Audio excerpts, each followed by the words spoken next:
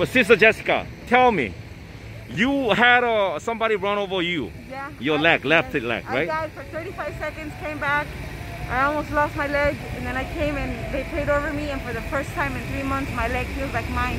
It doesn't hurt. I don't limp. I don't like. All of a sudden?